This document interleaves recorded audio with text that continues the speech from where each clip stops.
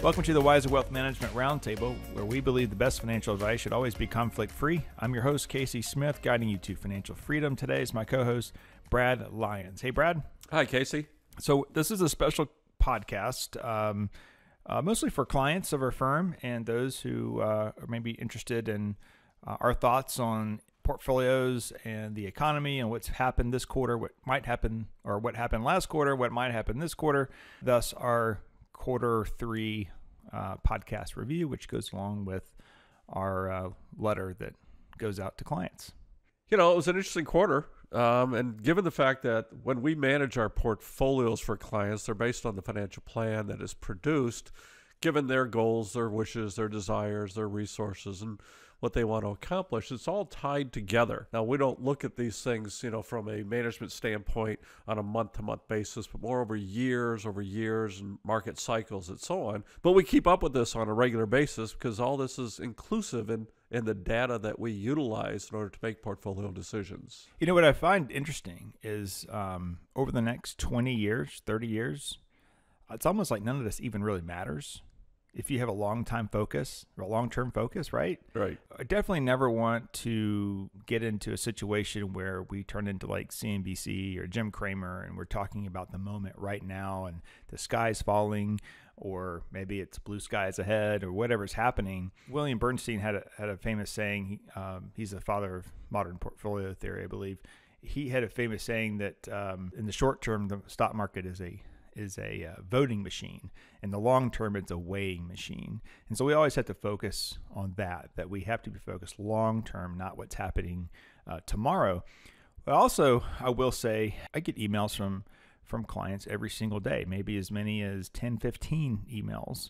And kind of the theme lately has has been a lot of fear. And I think a lot of that fear uh, is based from people I know. A lot of that fear is based from people that are trying to sell things. They're trying to sell a subscription. They're trying to sell uh, more viewers for their show so that they get higher paid advertising, right? Uh, I think the latest one, and we'll cover it here, was was uh, the U.S. is going to default on its on its bills, and they just we need to be out of the stock market. You know, another one is that uh, U.S. dollar, and this has been out here for about two decades. The U.S. dollar is going to tank, and I need a lot of gold in my portfolio. And I said, Well, where'd you hear that? Well, I see all these Fox News commercials, or I see, you know, or newsletters. Uh, and quite honestly, you know, it's, it's it, the far left and political. Uh, I hate to get political here, but we're getting political. uh, the far left does not have the fear mongering that the far right does. Because all the newsletters that I see from the far right are just it's doomsday. It's horrible, right? Yeah. And there's always an action.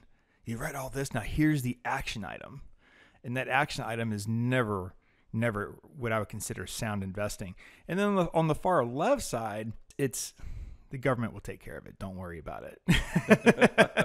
we've heard that. For, we've heard that for decades it's, too. Since, we have a solution. We have a solution. yeah, pretty much since FDR. Right, the government is going to take care of it. One Don't of my worry. favorites on these commercials, you know, speaking of sponsorships and so on, is these really well-known celebrity endorsements for yes. gold or annuities or reverse mortgages. I mean, yep. these are well-known, well-respected actors and and athletes and people of yeah. prominence. You know, they were, kind of, get yeah. a kick out of think, well, if, if the product is so good, if the investment is such a great idea, why does it take such a well-known spokesperson in order to tell in me that I it. need to do it? Yeah, you know? exactly yeah, it's like you don't see anybody on TV well known going brush your teeth. That's Right. you don't see anybody saying saying shower daily. Yes, um, exactly. You know? No, I mean, they're and they're good at what what they did. I mean, they they are do they're good at acting. That doesn't mean that they're good at math. No, and they're acting on that commercial in order to receive what a paycheck, right?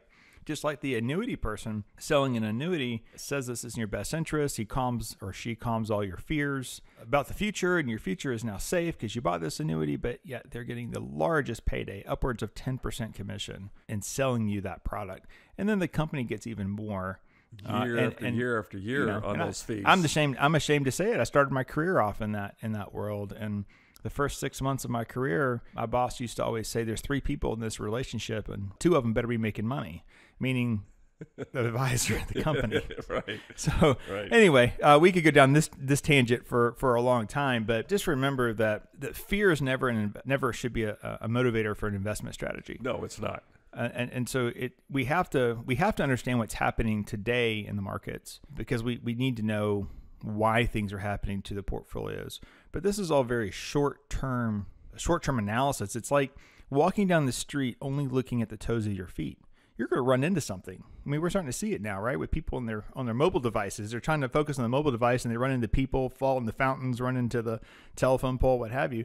But that's that's what short term trading is like: is walking down the street looking at your toes, or trying to drive your car only looking at the hood. You have to have a long term focus on on your investments, and if you don't have a long term, meaning um, you want to invest for something that's five years from now. We're generally advocates of you hold it in cash or extreme short term bonds that try to get a little, a little higher yield. Because over five years, there's a good chance that the, the stock market might give you a negative uh, loss. And, and we're forgetting that. We're forgetting that over the last decade. Well, it, it feels like it's been such a great run in this stock market for the past decade that people don't remember that there are times when the market does go down. And we're going to exclude 2020, you know, Well, for, for, for that comment. And the Yeah. reason is because that was an external event. That was a that was not a, a financial crisis. That was a medical, a health crisis that occurred. And look how quickly it came back after we It- figured it out. It was, but you know what it also was is like a millennial crisis. You know how millennials are get kind of this stereotype, but they get tagged for wanting everything right away. So they got a really fast crisis and a really fast recovery, right? yeah. I mean, I had to endure. I I I bought a wealth management firm in 2007. I did, had to endure the top all the way through the bottom with brand new faces sitting in front of me. Right? That was a three four year ordeal That was. to work through all that Right. mess. That's why I wanted to exclude 2020. so 2020 wasn't really. Uh, I mean, it wasn't a market crisis. It was more of a market opportunity. It really, was. and we did well. You you did well with uh, the rebalancing and, and processes of all that, and our, and our clients did well. So let's go And ahead that's and the uh, point. let's go ahead and get into. Um, I guess Brad, let's just follow the the the highlight of of our newsletter here that you are uh, about to send out. Uh, so well, we just start with the overall economy uh, over the last quarter and over the last year. You know, the economy is actually performing pretty well. We're looking at a, a growth rate that was reported in the third quarter for the second quarter because we're, we're on a lag here. Second quarter was uh, growing at a 6.7% growth rate, which is really a strong economy. And as we went into the, the third quarter, uh, what began to happen is companies began to increase their guidance for investors, expecting a, a good third quarter of, of earnings. And sure enough, that did happen. Some like somewhere in the neighborhood of 87% of the companies in the S&P 500 reported earnings higher than analyst expectations. So that is a tremendous gain. Now in the stock market, there's is sometimes there's a lag. There's not always a direct correlation because what had happened is you went through the July and August, and by the beginning of September, the market was at an all-time high. I mean, it looked like we were just going to keep going and going and going, but that's not normal to you know, owed to our just past conversation Right. in any normal year, you're looking at a pullback in the market of 5%, perhaps three or four times a year on average. We've only had one up until this recent quarter was back in March and February. So what happened about beginning of March or excuse me beginning of September is we began looking at the investors began to look forward, you know, beyond the third quarter. They, those numbers were already getting baked in as they saw in the stock market rise through July and August. And they started looking beyond and what we were looking at at that point in time was an increase in COVID cases through the new Delta variant and it was beginning to rise in, in the market. So investors began to be concerned about how long would this take to work its way through the system. And we can talk a little bit more about this, but it's already turned over on a seven day moving average. But so we did, then finally saw the second pullback of the market in September. By the end of September, major indices, the Dow, the S&P 500, the Nasdaq, all were showing a downward trend of 5% or more. That doesn't mean that for the quarter, but just in a swoop from beginning of September to the end of September. We're seeing a downward trend. But by the end of the quarter, the whole quarter, the returns for the, the S&P were about flat. They were up about a half a percent. If you go point to point, it's like nothing happened. Right. It was a flat. It was flat for the quarter. The Dow was off a little bit more, maybe a point and a half after that, and the Nasdaq was a little down a little bit further. But nonetheless, we're starting out the quarter now. We've just had a pullback. Quite often after pullbacks, we go see a rise in, in, the market. We talk a little bit about that. The large caps, the small caps, the different sectors, and how they performed in the market in, in the third quarter really is an interesting story there. Well, when we hop into that a little bit. Well, we saw the large caps uh, uh, essentially flat, maybe up a little bit. Small caps were off after a pullback. Small caps have had a terrific run since since the past 12 months, up over 50% in the last 12 months.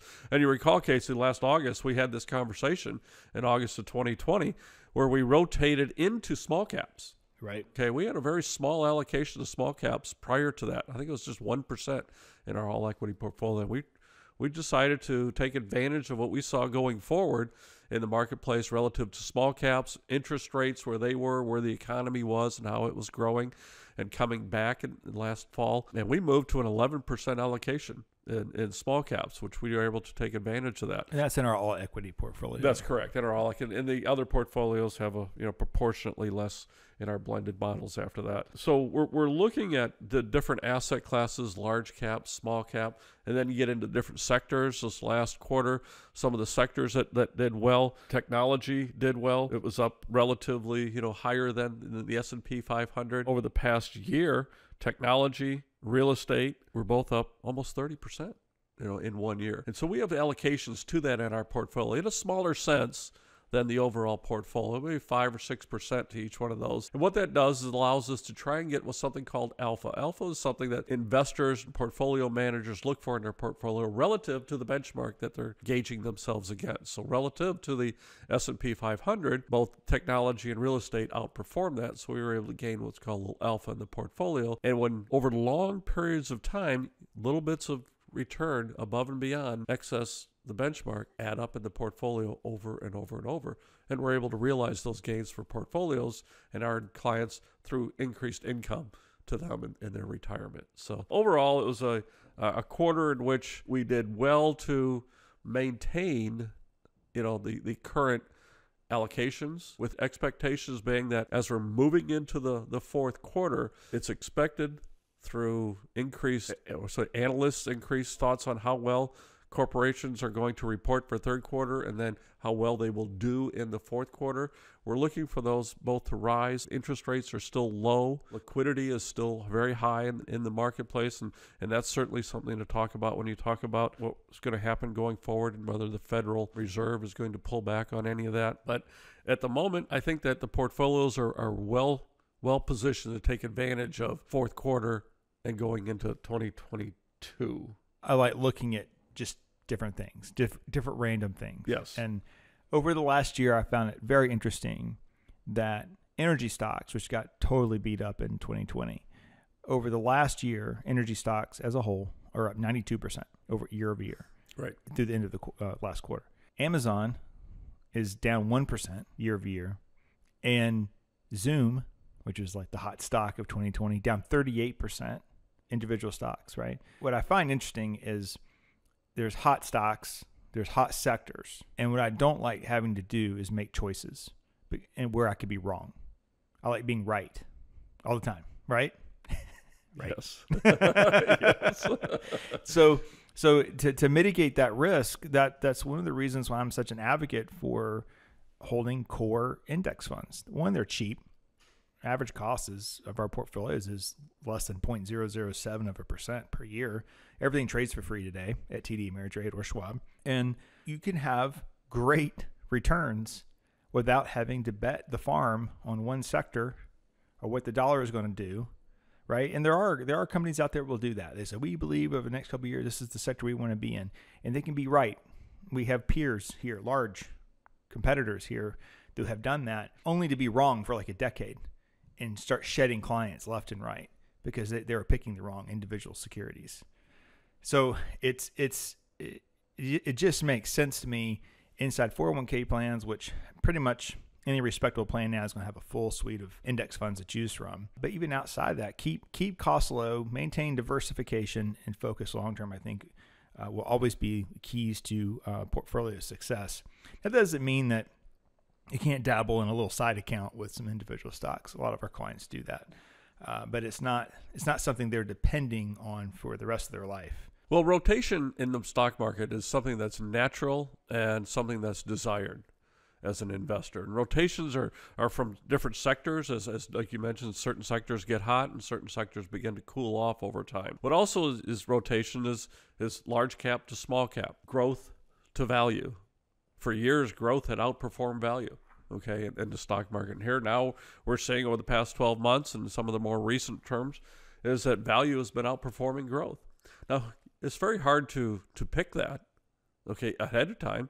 I mean, if you had a crystal ball and you could do that, I mean, you'd all be rich. Well, in know? the short term, I, I tell clients uh, not often, but when they ask about strategies, in the short term, there's a lot of things we can do to juice up portfolios.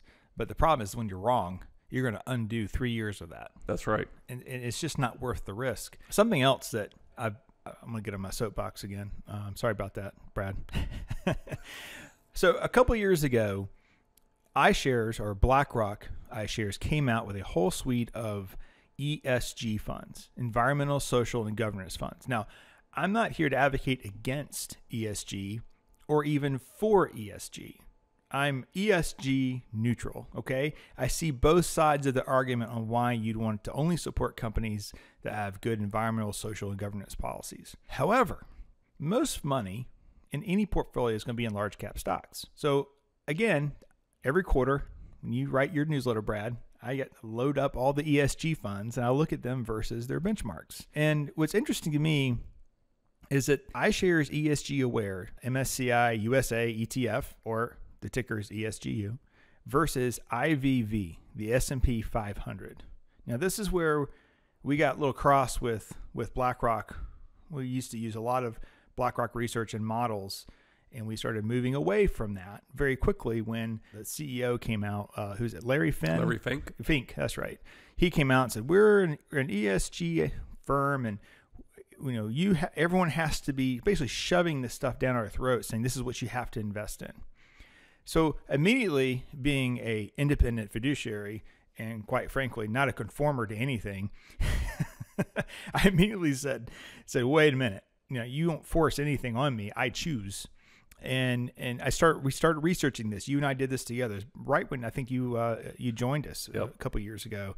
And what's interesting is this concept that the S&P 500, these are some of the 500 largest companies in the country. How is it that as a group they would not be moving more and more toward ESG, environmental, social, and governance policies? Why would they not be doing that? because the government has has dangled all these carrots for them to do that. A lot of it being bad press if they don't do it, a lot of blackmailing probably, but the bottom line is that the ESG ranking of the S&P 500 is double A. The ESG ranking of the ESGU fund, the large cap fund in the US has, does have some some small caps in it uh, as well, is basically the same. It's one number one little thing off so they're basically identical. So this is where I have a problem. This is where the problem enters in. I don't have a problem with ESG because the S&P 500 itself, they're all moving that direction. I have a problem that BlackRock is telling me to go buy a fund, the ESGU fund, right? For 5 times the cost of the S&P 500.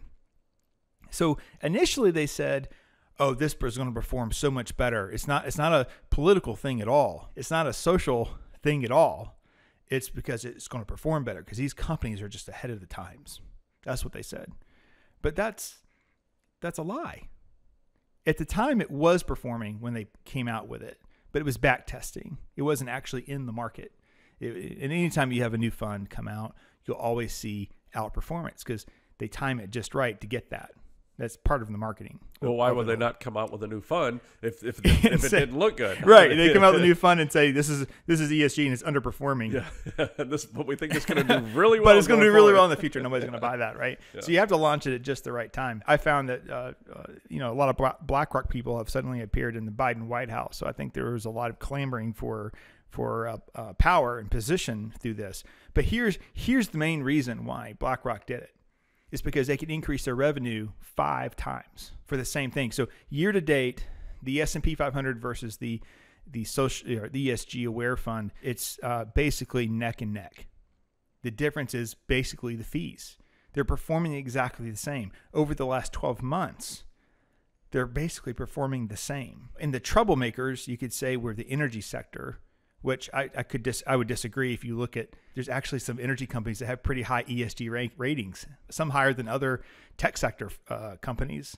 So that's kind of a misnomer. And there's energy in there because of that. The new ESG funds are smarter in how they select things but it's it's a it, the reason why they did it is because it played to um, modern day politics, right? And it increased their revenue five times. That's the only reason. Well, it's hard to. to, to I just I'm just saying that some- disagree with that. I, I I'm mean- just saying someone should call them out for it because, and I'm not talking about like the Vanguard S&P 500. I'm talking about their own product. It's the S&P 500 IVV versus ESGU. It's their own product. It's not, uh, you know, BlackRock's bad. It's a great company actually. They they do um, a lot for us, uh, research wise. So, and our rep is, is a great rep, and they're all good people. But the bottom line is this: this whole ESG thing is a marketing scam. Well, that and, and they're trying to select sectors of the economy uh, in the marketplace that, that they think are, are better than others that, that are either behavior Yeah. or product wise, and and to exclude any one sector means that you're excluding a portion of the of the stock market, the investable universe that an investor has available in order to get the gains they need in their portfolio. Here in the ESG fund, the ESGU, they probably are under allocated to energy, as as you had spoke about. Well, here it's up 92% in the past 12 months. I don't care if you how small your allocation is.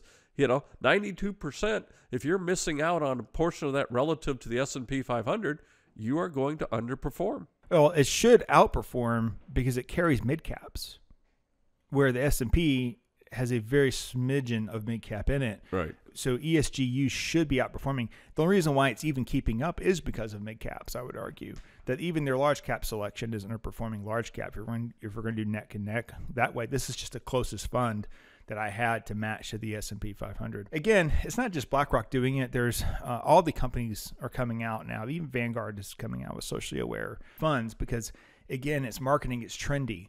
And what I'm saying is, look, the world is not the stock universe is uh, these are large publicly traded companies. This isn't, you know, micro caps in your backyard that are polluting your creek. These are all very large companies. They're all moving toward these standards, if not already there. Why on earth would you pay five times the premium for it?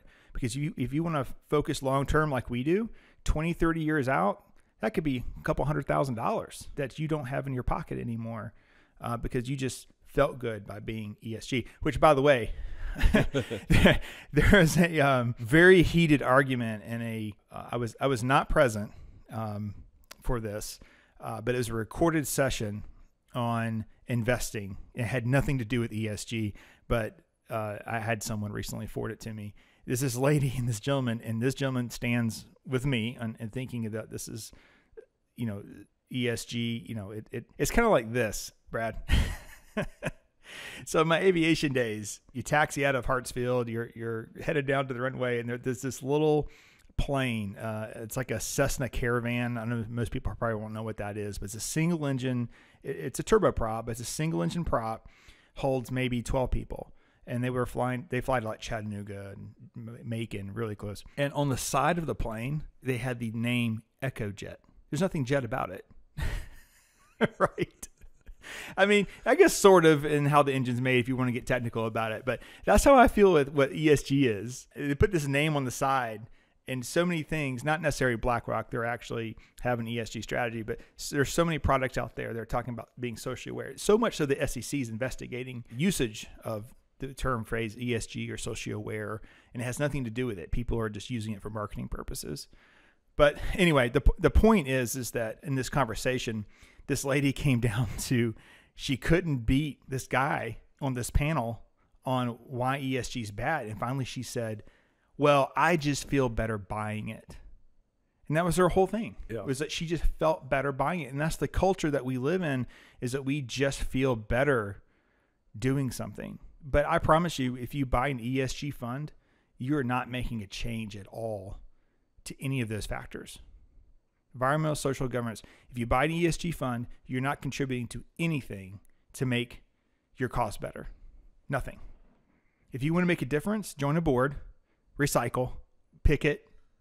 I mean, Buy a different product. buy a different product. Yeah. That's how you make a change. You don't make a change because you have an ESG aware portfolio. Now, here in the South, we don't have any demand for this. I never had anyone come to us and say, I want a socially aware or an ESG portfolio. My counterparts in New York, New Jersey, they tell me that's all people are asking for is socially aware portfolios. And vote. That's another one. How you vote. If you don't like something, change who's in power, who makes those decisions, right? Those are all, to me, very logical reasons or logical ways to make change.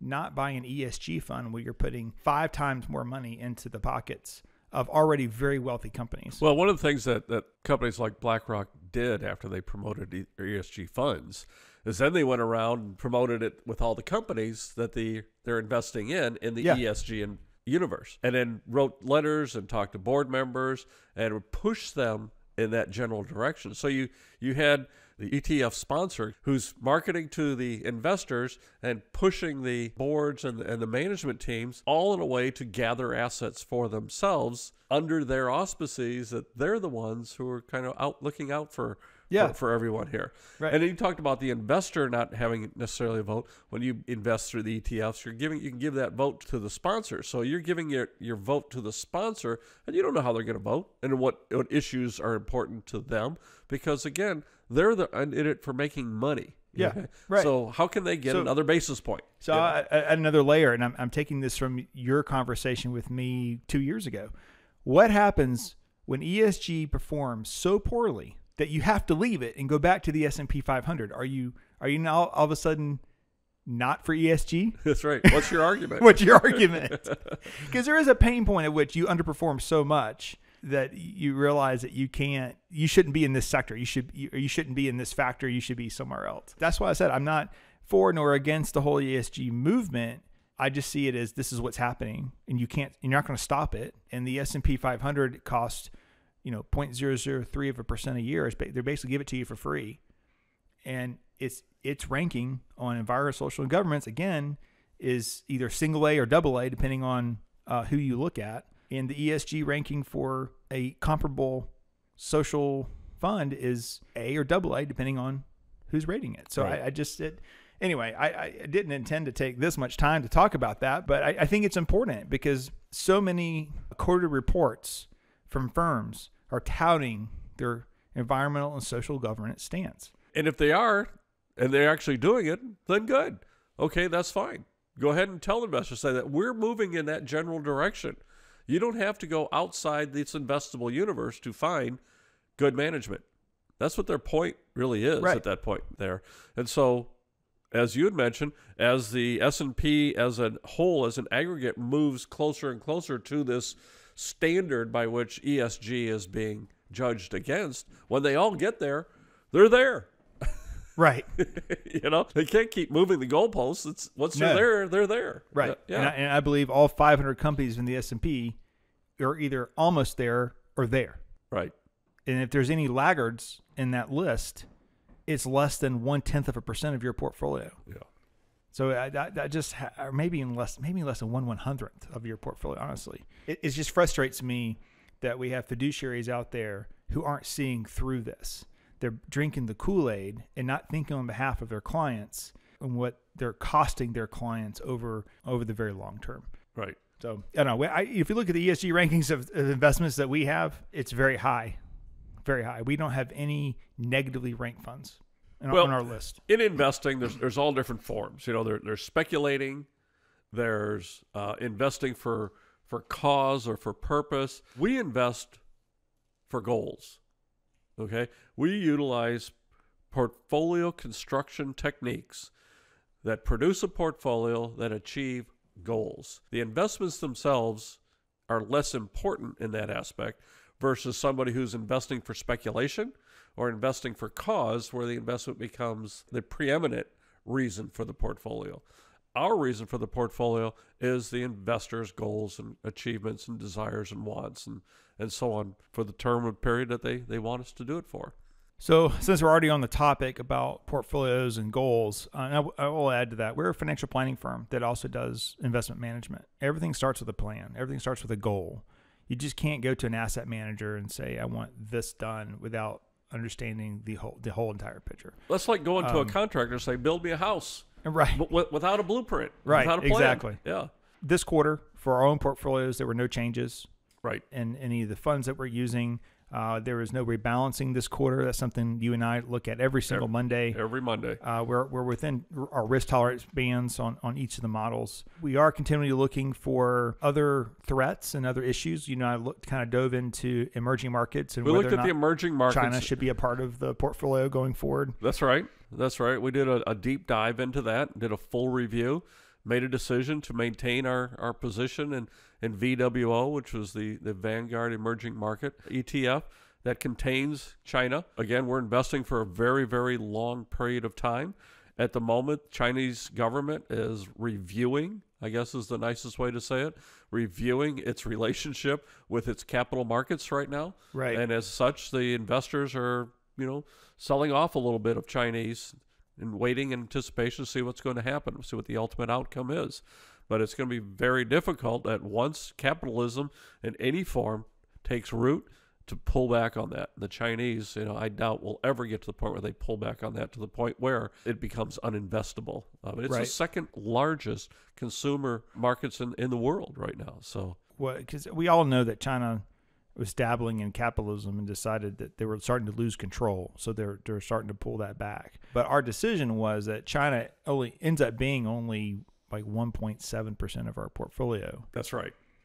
So even if we said, okay, we're not going to invest in China anymore, it made such an insignificant change in our allocation. It it just didn't make sense because you you have China inside the emerging market fund itself, but then when you look at China versus the percentage of the total portfolio, that's how that's how it gets so small. Right. You know, maybe it's good to have it there, but it was probably not a good thing to completely eliminate it. There's other things that we're looking at. We'll talk about next quarter um, as far as portfolio structure goes, uh, but we don't foresee any major changes uh, unless we have drastic um, upswing in the markets uh, uh, in the final quarter. Let's hop back over to the economy. Uh, we added 1.65 million more people are working at the end of at the end of this quarter than Yeah, the, that last at quarter. the beginning of the quarter. So, and that's likely to be revised a little upwards again here next month. Um, it was a, a short month for September in order for them to calculate the number of jobs that were that had been added. But you take a look at the 1.695, 1.7 million more people going to work every day, that's three a months out than 4.8 percent unemployment rate. that's somewhat of a and i think most people begin to see through some of this is that as people drop out of the the labor market you know looking for work they no longer are considered part of the labor market i mean the potential market So that I mean, number might be artificially a little bit lower. it, than it, it might like. be it, it might be based on the that there's uh, I believe there's still more job openings than we have people to work. that's right So that would indicate Yeah. uh, that that could be the case. now an interesting um, metric that we're seeing in, in the marketplace relative to jobs is how long it takes to fill a job right now. Prior to the pandemic it was taking about 30 days to fill a new job. After the pandemic there were so many people out of work anybody was looking for a job it only took about 20 days to fill a job. There weren't very many to be filled but those that you know Right. were, were- that were tracked only took about 20 days. Now it's taking around 50 days to fill every job opening it takes longer to find people to come to work and do a job on a daily basis right now. you know, a lot of people say it's it's um, has a lot to do with government paying all these handouts, but a lot of these handouts have expired at this point. And quite honestly, I think it's people realizing quality of life is better sometimes than the dollar. I mean, we all need to pay the basic, pay the basic needs, I guess. Um, but I know well-paid people that were on the road two weeks, of the month or three weeks of the month in sales jobs, and they made more money than they ever have in 2020 and doing the same job they just did over Zoom. And now their bosses are saying, "We need you back out. We're a face-to-face company," and they're like, "I'm not going. I'm not doing it because I've been taking my daughter to school for the last year." And so there's pushback on that. I think the ADP was saying that uh, 93% of employed people are open to ch- uh, changing jobs. You see that people moving out of the city, people aren't going back to the city. So anyway, I think that some of it could be government handouts, but I, I think a lot of it is just people a certain quality of life that people want now. I think so too. It's going to take a while for the the handouts, as you you know, the un, in, in increased unemployment benefits uh, to work its way through the system. They're, they're, just coming to an end, you know, as of September. Right. We're just into the beginning of October. Um, as people begin to ramp up their their job searches, if, if they do, once those get through the job market placement, what's left, I think, is to your point, people who are reevaluating their life. Right. Okay. And that may take a while for for us to uh, actually get metrics on and find some get some data and research on it. But it should be interesting when we're all done there as we go through this change in our in our work home life. Just to be very clear, your hour commute each way to and from work is is good. It's enjoyable. It's enjoyable. I listen to the radio. You can listen to this podcast. Um, you can do a lot of things, Brad. So don't get any ideas. yeah, I don't know that I want to sit home and watch Oprah and play with the dog all day anyway. Is Oprah still on TV? I don't know.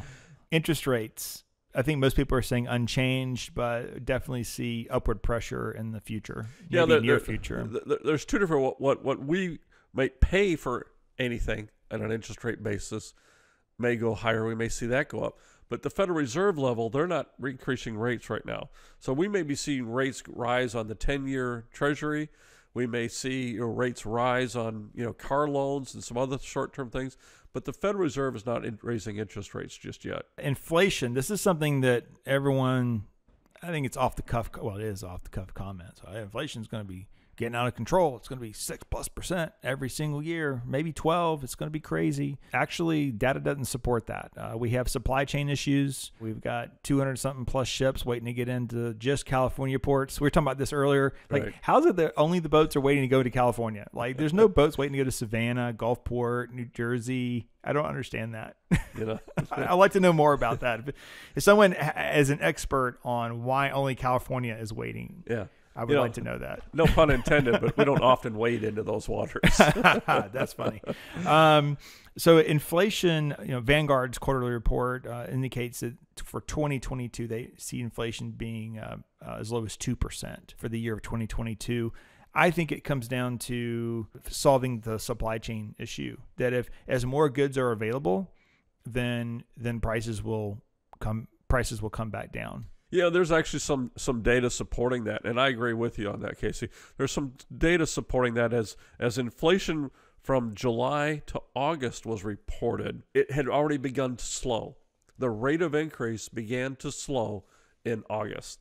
So it's interesting to see it may have beginning to change its trajectory. Now, in, in, in, July, the year over year was a little over 4%. In August, the year over year was a little over 5% inflation. But that rate of growth had begun to slow. And so it looks like they may be bending that curve a little bit downward. So we'll see how that how that plays out. I think it's going to be an important factor going forward into 2022. At uh, Vanguard's call it two percent you know, maybe by year end of 2022, in my opinion, or average over the total of 22. But I don't think starting January 1, we're going to see 2%. No, I would agree with that. Yeah. Uh, one thing we haven't talked about was the pandemic, uh, COVID part two. Really, I think for most markets, um, it's almost like COVID doesn't exist, and it's more of a verbal fight on vaccinated versus unvaccinated. But it doesn't appear to have been slowing down the economy. Uh, nothing like last year where we shut things down for sure. Uh, now, now, that may differ from state to state, where maybe some restaurants are still closed. My understanding is most of California was open, but Hawaii. I've heard two different reports that, as a tourist, it was it was wide open, and as a tourist, it was just a pain to get there. Not as many people were going because of COVID tests, and some restaurants were still closed. So that might be true. I, I don't know, but um, I, I, think that uh, COVID doesn't have as much of an effect on things right now like it did even six months ago. Yeah, as COVID now and, and, and the calendar, you know, kind of go through its phase, you know, as we go through fourth quarter, we're still reporting. Uh, we'll be reporting over fourth quarter of 2020. But once we get into 2022, those 2020 numbers are, are going away. And so we'll begin to see the economy in its real force relative to year over year growth at that point in time because 2021 over 2020 is somewhat of an aberration. We should see some very good numbers. They're expecting 27 to 28% increase in revenue quarter over quarter as third quarter you know, companies begin to report their third quarter earnings.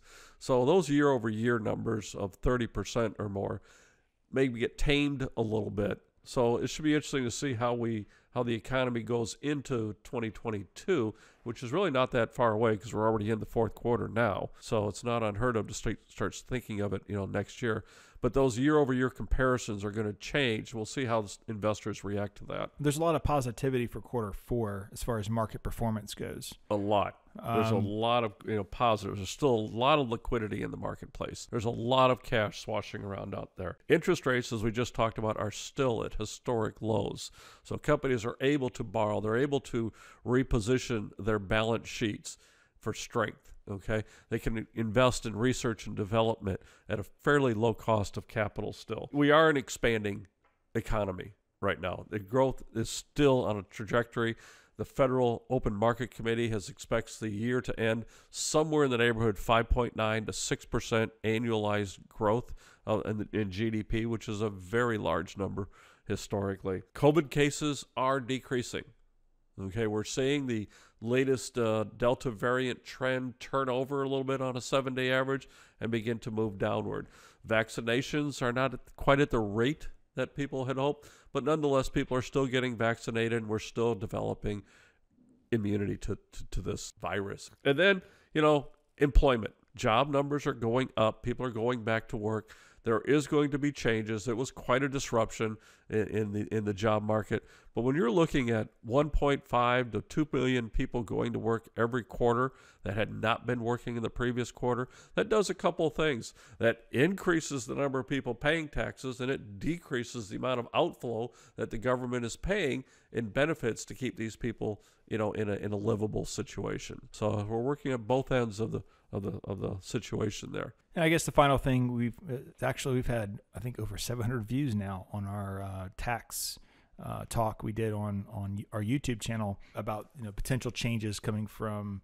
Uh, you know, I don't even want to say the White House. It's the White House doesn't really seem to be driving anything right now. It appears to be uh, mostly Congress and, and the Senate on the new tax uh, or stimulus plan or whatever they want to call it. We're making a lot of radical changes, but really it appears to be one or two Democrats that are putting the brakes on uh, a 3.5 trillion dollar spending plan, maybe even getting it dropped by a trillion possibly in expenses or in programs.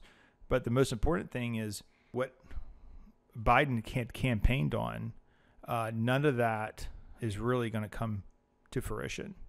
That we seem to have amongst the Democratic Party itself uh, some reconciliation now on a reasonable tax increase.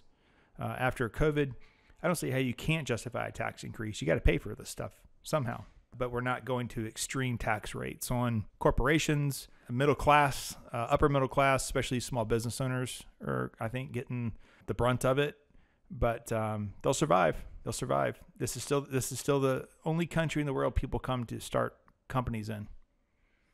You know, we, we, we still have the best business environment. Yeah. Okay, still have the best, the highest intellectual capital, you know, in our in our labor force of anywhere in the world. So, well, we'll end on that. Uh, both parties seem to be America first these days, so I think that's great for for business and for entrepreneurs, and we will um, uh, absorb tax hikes just like everyone else does or did in the past, and we'll continue to find ways to make money. Thanks, Sounds Brad. great. Enjoy the conversation. Thanks for listening to the Wiser Roundtable podcast. We hope you enjoyed it. Make sure to subscribe wherever you're listening. That way you don't miss out on new episodes. Head to wiserinvestor.com and reach out if you have any questions. We would love to hear from you. Today's episode was produced and edited by Lilton Moore.